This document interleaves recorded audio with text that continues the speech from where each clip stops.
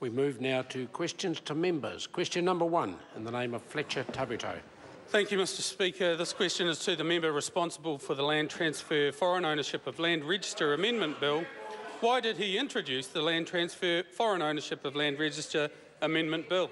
Mr Speaker. The Right Honourable Winston. Mr Speaker, there is currently, under this administration, no easy or accurate way to measure the amount of land under the control of foreign nationals. This is due to the fact that, unlike in other jurisdictions, there is no official database of foreign ownership in New Zealand. And that's what this bill is going to fix up. Supplementary. Supplementary question, Fletcher Tabuteau. Thank you. Supplementary to the member. What other jurisdictions have registers of land ownership? Very insightful The question. Honourable, And Right Honourable Winston. a number Peters. of countries do, and the Australians have discovered, with some consternation, that Australian land equivalent to the size of two New Zealands is in foreign ownership, including 2.5 million hectares in the past three years. Now, if 13% of Australia's farmland is in foreign hands, what percentage of ours is also foreign owned? And we're going to find out.